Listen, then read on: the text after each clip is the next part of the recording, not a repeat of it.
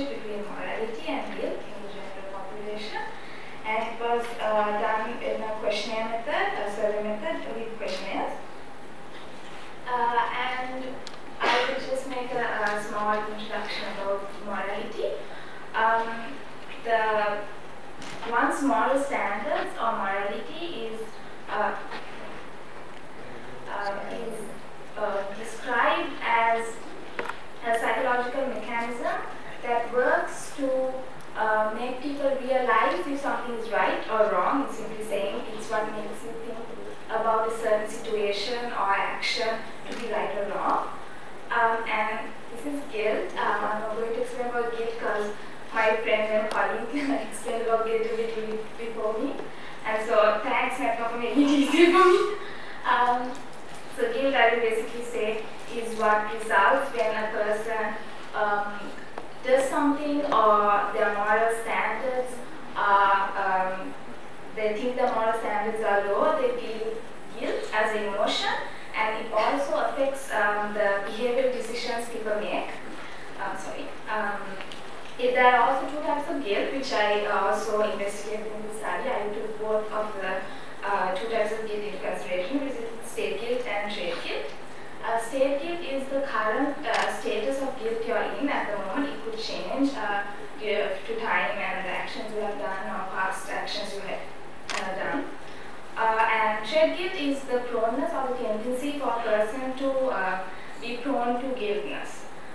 So moving on to the background literature, I would just like to explain um, Harman uh, is an American um, philosophist and he said guilt um, is the result of violating uh, moral standards of an individual so that they would feel unpleasant about it and that is what is called guilt. And he also said that individuals can have a low affinity to guilt but be high in morality. So this is the uh, this is one of the this only person who said uh, that I found that said that it, it could be if the guilt if guilt is low, morality could be high, and morality low, guilt could be high. But other studies, such as the next one I have um, uh, put in the slide, it, it says that uh, guilt it, and wrongdoings could result with having high moralities, so that if uh, guilt is high, morality could be high and the decision, uh, the probability of making right decisions is also high.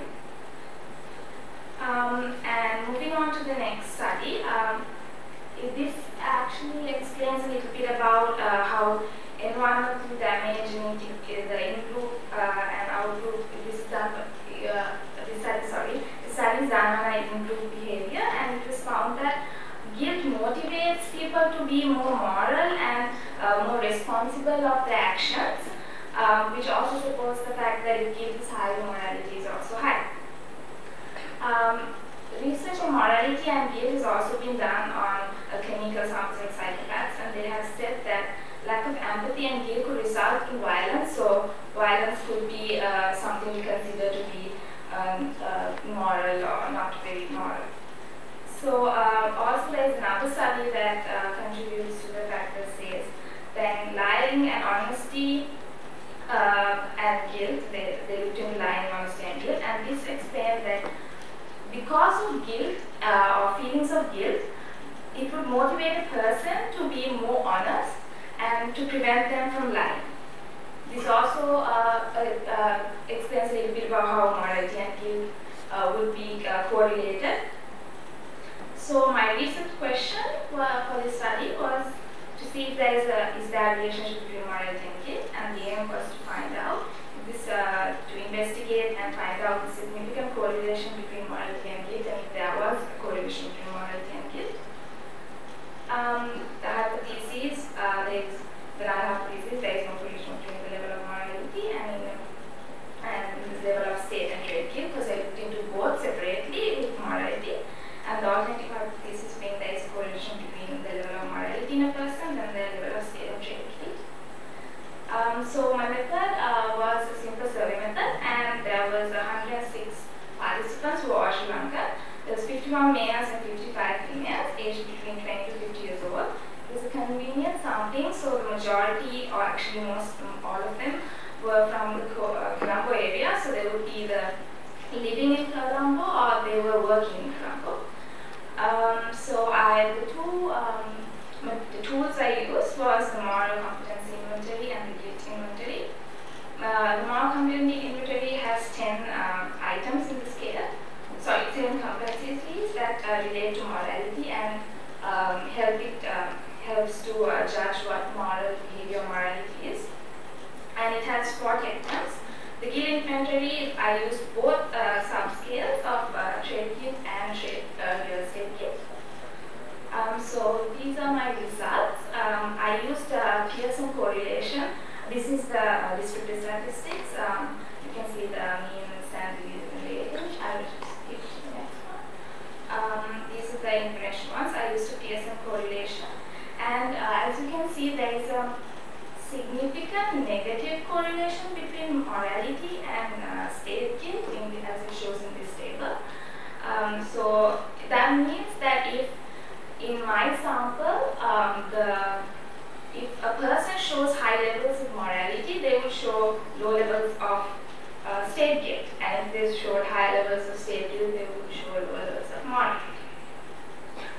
Um, this is also the next uh, Pearson correlation I did with morality and trait guilt.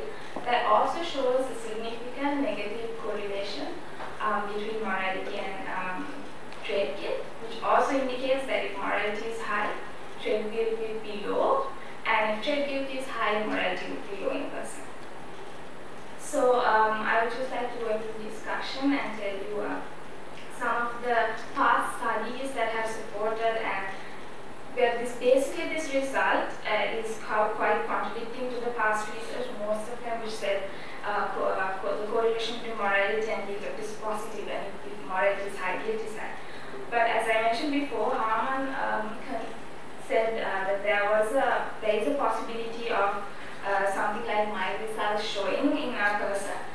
So could be due to the fact that past research has, has there hasn't been a research that has been done in Sri Lanka in this context. Um, the, so also at the second point you can see that I mentioned that uh, other researchers contradict my results um, because they said there would be a positive correlation to morality and guilt. Uh, so to explain a little bit about the uh, results I had, um, there are some theories who suggest that um, the morality is a universal uh, um, set of um, principles. Um, but um, there is also certain aspects in morality that could be different when it comes to cultural or uh, personal uh, differences. Um, so it could have affected, have an effect in, had an effect in my results um, since it, it, the past research that said there is a correlation, positive correlation between guilt and morality were done in uh, Western cultural um, uh, environment. Um, and also uh, there was one that uh, mentioned the second uh, the second point I have put. Uh, it says that Chinese and Americans experience emotions in different manners. So when it comes to guilt, and this also said that um, the con cultural context is uh, needed to understand the role guilt plays uh, in a, as an emotion and how it relates to morality. So this could also have been an, um, uh, an uh, point for why I had these uh, contradicting results to what past studies have shown. Um, moving on to the next one. This is also an additional result that I got that I would like to show because it's quite interesting. Um, according to Martin Austin, uh, the moral competency inventory that I used uh, can be uh, divided into sections to like uh, make it simplified and make it easier for people to understand. So it, it would be 90 to 100 would be very high morality and 80 to 89 high and so on and so forth. And what I found in my results were the majority of um, my uh, participants would fall into the moderate to very high uh, standards of morality when there was only a very few, actually two, uh, very few in the um, low I didn't go into detail, but uh, it uh, is also very interesting finding in this to see the most people were in the um, moderate, very high um, category. So there's a few limitations I would like to quickly go through. Uh, sample size was not very large, but, and the sampling method was convenient sampling, so it didn't represent the whole of Sri Lanka. And there should also be a validation of the tools that I used to the Sri Lankan context and maybe a translation of it to the uh, languages used like Tamil and Sinhalese. Um, for future research, um, a larger sample size could be taken in place and uh, better